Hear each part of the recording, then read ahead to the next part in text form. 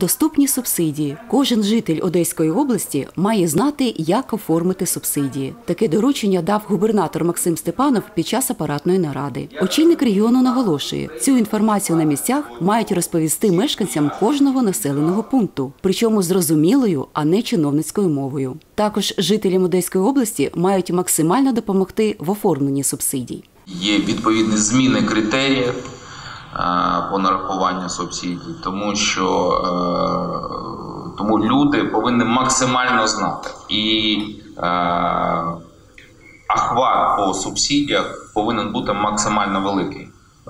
Тобто, щоб кожна людина, кожна домівка, які мають право на субсидію, ми повинні донести до них, що ви маєте право на субсидію. Ось зручний алгоритм і отримання цих е, субсидій. Відпрацювати алгоритм, відпрацювати вплоть до всіх пояснень, тільки відразу прохання велике написати це людською мовою, щоб всі без виключення громадяни України, які проживають в Одеській області, які мають право на субсидію, щоб вони її отримали.